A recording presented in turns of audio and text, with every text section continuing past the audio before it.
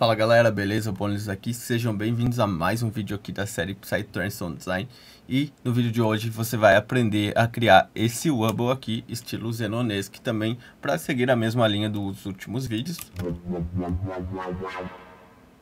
Um timbre bem utilizado nos plugs Zenonesque aí Então se você quiser aprender a fazer esse timbre aí, fica comigo nesse vídeo Seguindo a nossa série aqui, Psytrance Design, agora os últimos vídeos aí mais voltados para o Xenonesque. A gente vai pegar um Serum aqui e vamos criar um Wubble. Eu desenhei um MIDI aqui nas últimas quatro batidas de um compasso de mais ou menos 16 batidas aqui. Então, ó, a gente está em Fá e a gente sobe até Sol aqui, Sol bemol, no caso aqui, da nossa escala. Então, só ele ficaria assim. Beleza. Um timbre cru, ainda sem nada. A gente vai pegar, vamos utilizar um filtro aqui. A gente vai utilizar o filtro Bandpass de 12 aqui. Agora a gente vai aumentar um pouquinho da ressonância, um pouquinho do drive, um pouquinho do FET, bastante FET aqui. E a gente vai modular isso aqui gente vai utilizar o envelope, aliás, o LFO1 aqui, para modular a frequência. Não precisa subir até lá em cima, então a gente pode deixar, pode deixar ele vir até aqui. Deixa eu apagar esses pontinhos aqui. A gente pode deixar ele vir até aqui.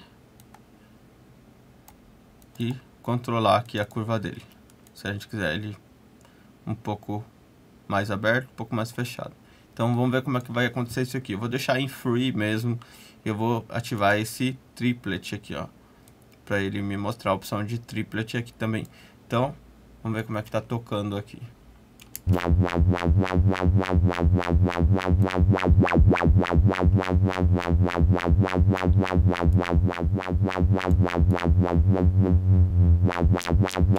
Então, agora ele já começou a fazer o movimento de wobble modulando a frequência. O que, que a gente pode estar tá colocando aqui? Mais vozes. A gente vai vir aqui, vai colocar mais ou menos 12 vozes. E vamos deixar o detune um pouco para baixo da metade aqui.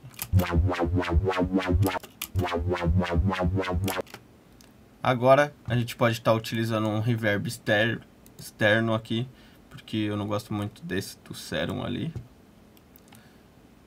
um pouco de reverb aqui.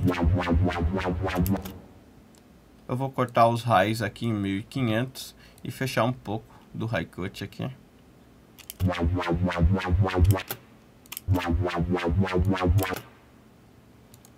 E agora a gente vai controlar o tanto que ele vai abrir ou não de frequência para construir esse timbre aí.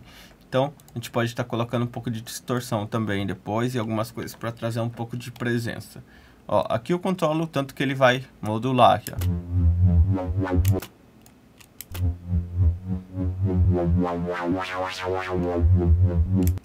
Então, vou colocar para ele abrir um pouco mais.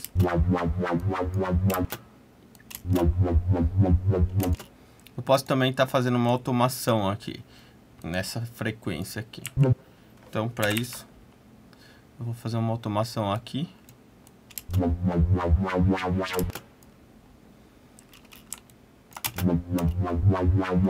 Eu prefiro fazer automação aqui porque eu vejo a linha direitinho e tudo mais.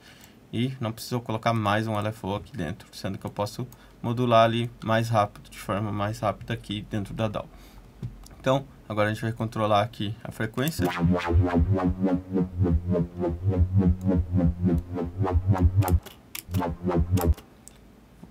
Opa.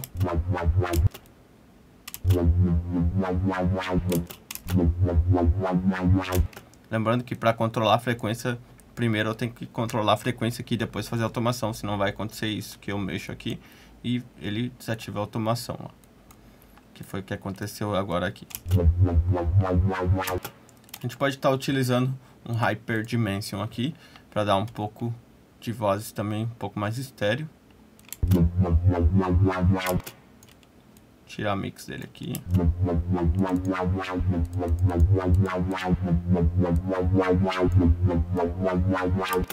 Deixei um pouco mais largo. Pra mim, tá legal aqui. A gente pode estar tá utilizando o que também? Um pouco de distorção. Eu tô achando que ele tá subindo muito. Aqui, nessa curvinha aqui, a gente controla o tanto que ele sobe a frequência também. Ó, se quiser deixar ele um pouco mais rápido, um pouco mais brusca a subida.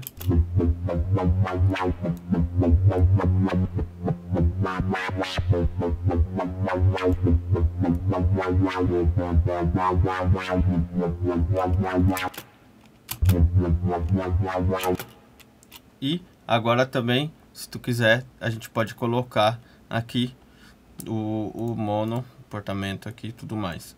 Vou colocar em Scaled aqui. E a gente pode sobressair uma nota aqui. Vamos testar como é que fica. Ele fica só um pouco mais suave, quase que imperceptível ali. E vamos ver como é que fica então esse timbre com a track. Tá um pouco alto aqui. Vamos ver.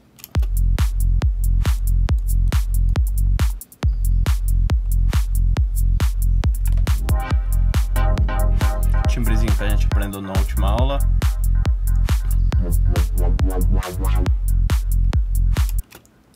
E se quiser a gente pode estar tá fazendo algumas automações aqui no reverb e tudo mais para dar ambiência de acordo com o gosto daí de cada um aqui.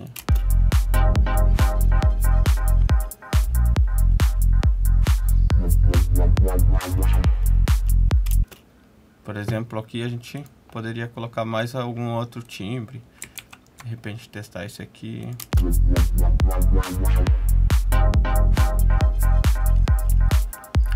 E esse é o Wubble, muito também, muito utilizado nos Prog Darks aí, estilo Zenonesque. Espero que vocês tenham gostado. Quem gostou, deixe seu comentário, seu like para nós, que é importante. E até o próximo vídeo. Valeu!